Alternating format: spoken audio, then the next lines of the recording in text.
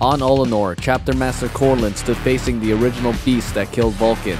The beast quickly killed Koorland, who was the last of the Imperial Fists, and the Imperium retreated.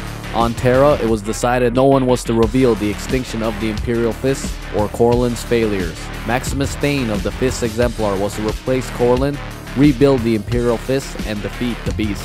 The Imperium went back to Ullanor and diverted asteroids onto the planet's surface. This caused massive damage and confusion to the orks. Then Thane's team bitterly battled into the throne room of the beasts. Here they met the Beast of Beasts, the strongest of the Prime Orks. Using a captured Ork Psyker, the Sisters of Silence created a strong anti-Waaagh energy. This imploded the heads of the nearby Orks and destroyed the Beast of Beasts himself. With the Prime Orks defeated, the Imperium would fight off the remaining Ork forces throughout the galaxy. And so, the War of the Beasts would come to an end.